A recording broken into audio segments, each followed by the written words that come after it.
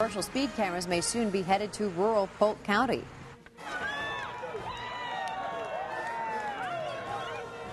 Prairie Meadows making it possible to bet on horse races without leaving your home, but is online betting a good idea?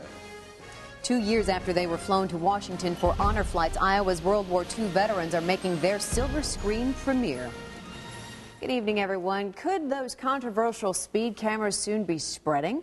The Polk County Board of Supervisors is now looking at a proposal that would allow the cameras in rural parts of the county. News Channel 8's Carrie Gavin's in the newsroom with more. Are the supervisors already considering these cameras, Carrie? Well, Kevin, they're not opposed to them. Polk County Sheriff Bill McCarthy met with the supervisors this morning at a board staff meeting to propose the idea that he said will save lives. There are more than 600 square miles in Polk County, and roads make up a large portion of the area. Having law enforcement officers patrol the thousands of miles of roadway in the county isn't easy.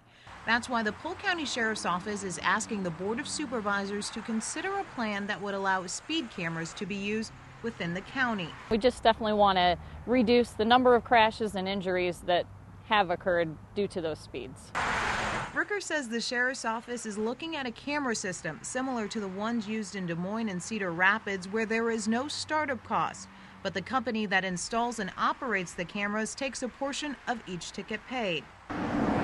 She says the cameras could be used in rural areas to deter speeders and also in cities like Avon Lake, Grimes, or Bondurant, where the sheriff's office handles their law enforcement. We have contracts with a couple different cities in Polk County, and so yeah, definitely a possibility, but we'd have to also go to their local governments and, and check that out with them as well. Polk County Supervisor E.J. Giovannetti says the cameras are controversial, and that's why the board asked Sheriff McCarthy to provide data showing that the cameras enhance safety.